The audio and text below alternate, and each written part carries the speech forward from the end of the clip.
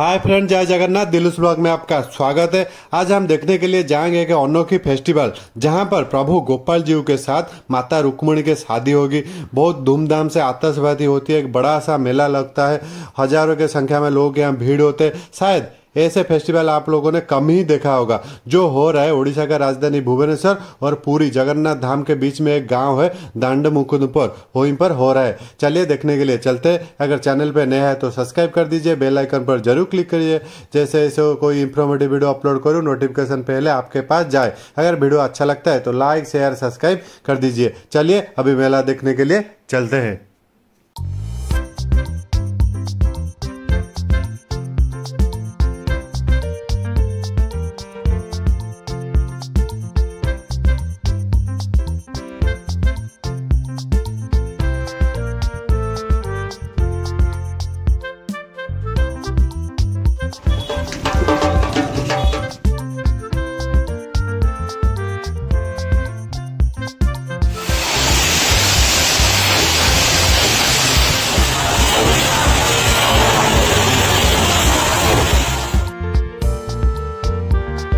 दोस्तों, अभी मैं मेरा होम टाउन भुवनेश्वर से जा रहा हूँ, चंपक द्वादशी फेस्टिवल देखने के लिए। मैं मेरा स्कूटी से भुवनेश्वर से जा रहा हूँ, जहाँ मैं जा रहा हूँ, उस गाँव का नाम है दांडो मुकुंदपुर भुवनेश्वर से दूरी है लगभग 30 किलोमीटर और पूरी से दूरी है लगभग 34 किलोमीटर। कम से कम आधा घंटा 45 मिनट लगता है वहाँ पहुँचने में। चलिए, अभी चलते हैं गाँव पहुँचने के बाद फेस्टिवल का मज़ा लेते हैं।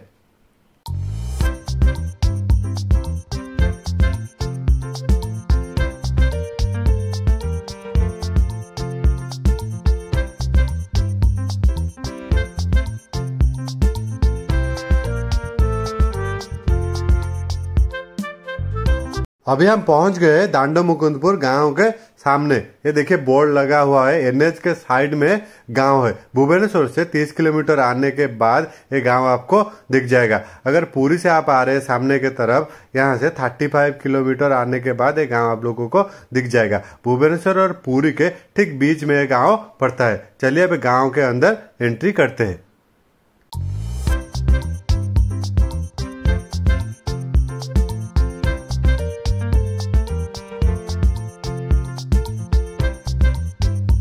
अभी हम पहुँच गए दांडो मुकुंदपुर गाँव के अंदर। जब गाँव के अंदर आप एंट्री करेंगे, ये देखिए सामने आपको बढ़िया सा मिठाई दुकान दिख जाएगी। यहाँ से मिठाई कुछ घर के लिए ज़रूर लीजिए, क्योंकि गाँव का जो मिठाई होता है ना, उसका टेस्ट कुछ अलग ही होता है। शहर में आप मिठाई खाए होंगे, लेकिन गाँव का टेस्ट पूरा अलग ही है। अभी हम पहुँच गए, जहाँ पर प्रभु पालकी पर विराजमान है। ये सामने देखिए, बाबा बालुकेश्वर, उनके साइड में श्री गोपाल जीव और उस साइड में देखिए राइट साइड में माँ और बाबा नीलकंठेश्वर विराजमान है। शादी के बाद, गाँव परिक्रमा करने के बाद यहाँ पर विराजमान होते हैं। उनके सामने आतशबाजी का जो फेस्टिवल होता है, यहीं पर होता है।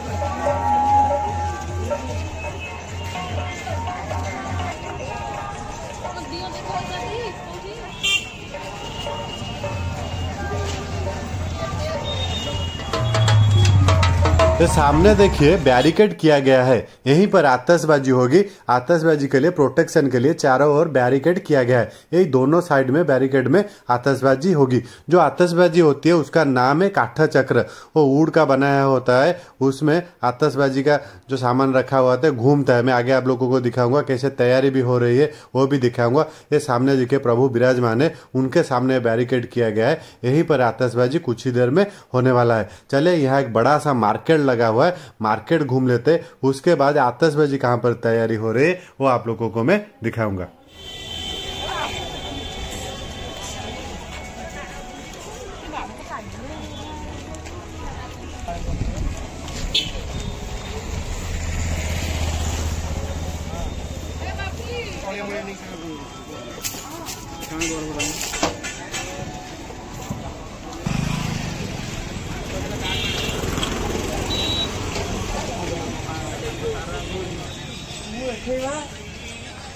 मदर बरे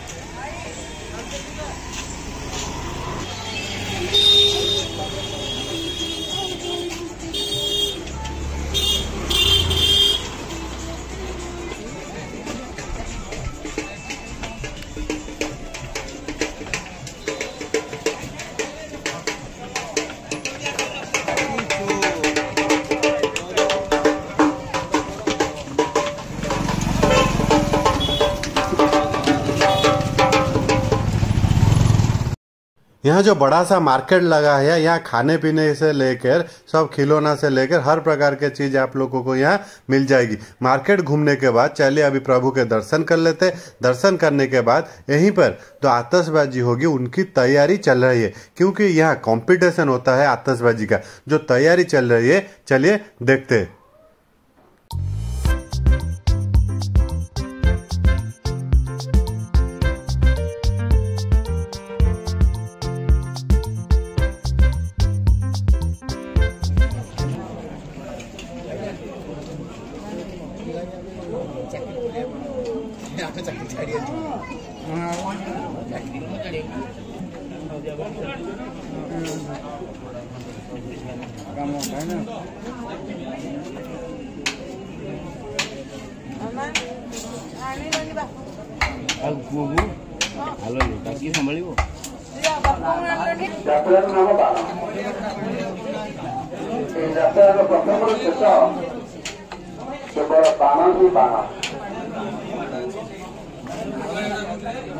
स्वागत करता है।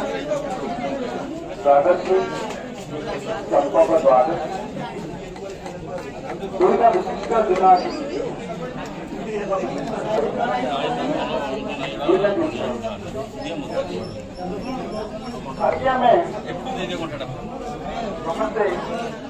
ये सामने देखिए, आतिशबाजी के लिए जोरों शोरों से तैयारी चल रही है। इनमें से जो जो लोग सब भाग ले रहे हैं, सबकी अलग अलग तैयारी चल रही है। इसके जो बना रहा है, इसको काठा चक्र कहा जाता है ऊड़ से बनाया जाता है, इसके अंदर बारूद रखा जाता है। उसके बाद जहाँ पर अभी होने वाला है, आगे आप लोगों को मैं दिखाऊँगा। देखिए, एक ऊड़ में एक होल होगा इसमें। एक पाइप के अंदर रखा जाता है। अग्नि संजय के बाद ये सौ के स्पीड में घूमता है। उसके अंदर से बहुत जोरों से साउंड निकलती है। अग्नि और धुआँ निकलता है। मैं भी दिखाऊँगा आगे आप लोगों का कहाँ पर है रहा है। अभी जो तैयारी चल रही है, इसमें पार्टिसिपेट ये लोग कर ये देखिए, ये खून में एक पाइप लगा है, इसके अंदर इसे रखा जाता है। अग्नि संजोग के बाद इसके अंदर जोरों से घूमता है। बैरिकेड किया गया है प्रोटेक्शन के लिए। लोग सब जब देखेंगे, किसी का प्रकार के दुर्घटना ना हो, इसीलिए बैरिकेड किया गया है। अभी ये रास्ता में कम लोग आप लोग दिख रहे होंगे। जब अभी कंपटीशन शुरू होगा, यहाँ हज़ारों की संख्या में लोगों की भीड़ हो जाएगी। अभी चलिए, कुछ ही देर में अभी होने वाला है। मैं आगे आप लोगों को दिखाऊँगा।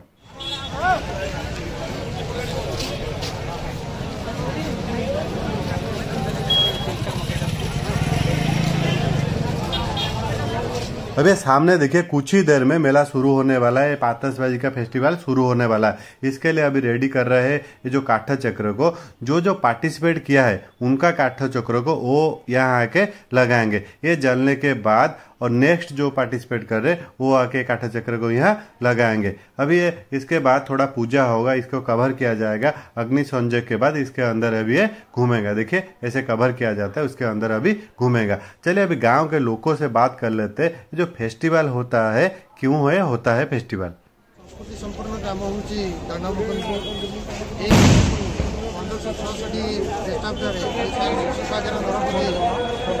श्रीचंदन ଦୁର୍ଭାଗ୍ୟବଶତଃ ପନ୍ଦରଶହ ଅଠଷଠିରେ ତାଙ୍କୁ ତାଙ୍କର ଦେହାନ୍ତ ହେଇଗଲା ଏବଂ ଆମର ପ୍ରସିଦ୍ଧ ଇଷ୍ଟଦେବ ଯିଏ ଗୋପୀନାଥ ଦେବ ସେ ନାଟକ କରିଥିଲେ ସେଇ ଏବଂ ସେଇ ଦିନଠାରୁ ଆଗରୁ ବାହାସର ଅଠାବନ ବର୍ଷ ପୂର୍ବଠାରୁ ଏହି କଣ୍ଠକଦାସୀ ଯାତ୍ରା ଆମ ଗାଁରେ ବହୁତ ଧୁମଧାମରେ ପାଳିତ ହେଉଛି କଣ୍ଠକଦାସୀ ଯାତ୍ରାର ଐତିହାସିକ ପୃଷ୍ଠଭୂମି ହେଲା ବିଦର୍ଭ ରାଜ୍ୟରେ ଉଷ୍ମକ ନାମ ଜଣେ ରାଜା ଥିଲେ ତାଙ୍କର ରୁକ୍ମିଣୀ ନାମରେ ଜଣେ କନ୍ୟା ଥିଲେ ସେ ତାଙ୍କୁ ଶିଶୁପାଳ ବିବାହ କରିବା ପାଇଁ ତାଙ୍କର ସ୍ଥିର କରାଯାଇଥିଲା କିନ୍ତୁ ସେ ରୁକ୍ମିଣୀ ଯିଏ ତାଙ୍କର ମରଣ ମଣିଷ ଶ୍ରୀକୃଷ୍ଣଙ୍କୁ ତାଙ୍କୁ ଗ୍ରହଣ କରି ପ୍ରତିରୂପେ ଗ୍ରହଣ କରିବା ପାଇଁ ସେ ସ୍ଥିର କରିଦେଇଥିଲେ ତେଣୁ ଶ୍ରୀକୃଷ୍ଣ ତାଙ୍କୁ ମରଣ ମଣିଷ ସେ ଆସି ରୁକ୍ମିଣୀଙ୍କୁ ନେଇଯାଇଥିଲେ ତେଣୁ ଏହି ପରମ୍ପରା ଏହି ପରମ୍ପରାକୁ ମନେ ରଖିବା ପାଇଁ ଗ୍ରାମ ଗ୍ରାମରେ ଏହି ଚମ୍ପକଦା ସେଦିନ ଏହି ଯାତ୍ରା ଉତ୍ସବ ପାଳନ କରାଯାଏ ଯେଉଁଠାରେ କି ଗୋଟେ ସୁସଜ୍ଜିତ ବିମାନରେ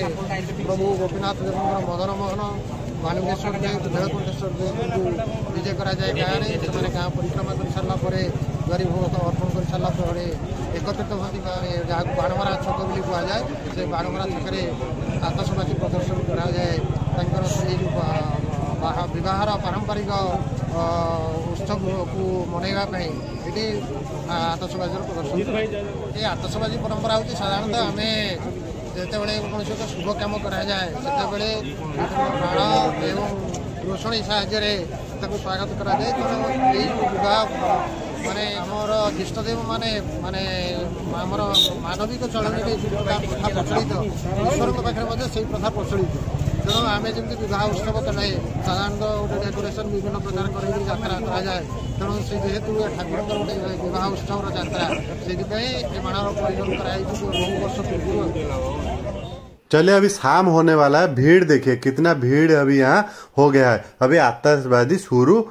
हो गया है। ये सामने देखिए, अभी आतशबाजी शुरू हो गया है। पुलिस प्रोटेक्शन भी दिया गया है। लोग इससे दूरी खड़े होने के लिए पुलिस भी यहाँ से लोगों को कह रही है। यहाँ देखिए, आतशबाजी अभी शुरू हो गया है। थोड़ा पास से भी आप लोगों को मैं दिखाऊँगा। थोड़े, थोड़ा आगे चलते हैं।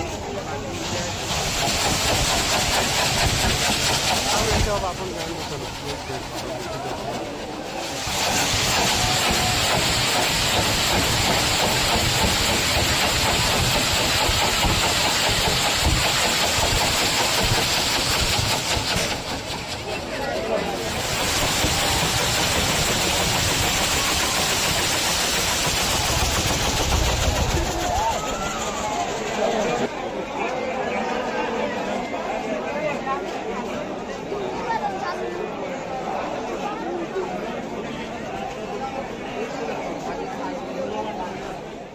अभी देखिए, और एक काठा चक्र लगाया जा रहा है। एक घूमने के बाद और एक यहाँ लगाया जाएगा, उनका नाम भी लिखा है। और जिनका अच्छा घूमता है, देख रहे थे, लोग नाच रहे थे। जिनका अच्छा होगा, इसमें वो नाच रहे हैं खुशी से। अभी एक के बाद ऐसे लगाया जाएगा। अभी रात तक ऐसे ही ऐसे फेस्टिवल चलेगा। अभी ये लगाने के बाद, अभी ये घूमेगा। चलिए, बाहर से लगाने के बाद थोड़े दूर चले जाते हैं। क्यों? पास यहाँ खड़े होने से रिस्की है तो दूर चले जाते हैं।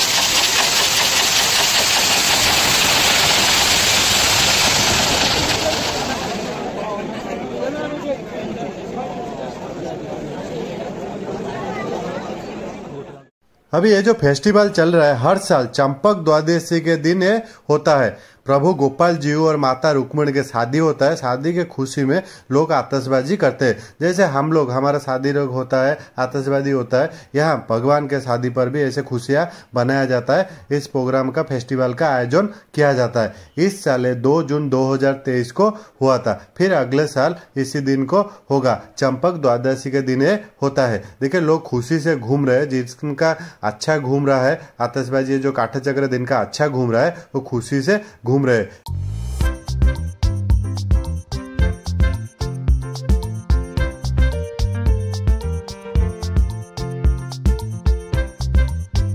अब ये फेस्टिवल रात तक चलेगा, एक के बाद एक काठा चक्र यहाँ लगाया जाएगा, लोग खुशी से इसे झूम रहे। अगर किसी साल आपको समय मिले ज़रूर है देखने के लिए, आइए, इस साल अभी दो जून को अभी ये समाप्त हो गया है, फिर अगले साल चंपक द्वादशी के दिन होगा। अभी चलते हैं भुवनेश्वर। अगर मेरा वीडियो आप लोगों को अच्छा लगा तो लाइक शेयर सब्सक्राइब ज़रूर कर दीजिएगा। मिलते हैं नेक्स्ट ब्लॉग पर। जय जगन्नाथ।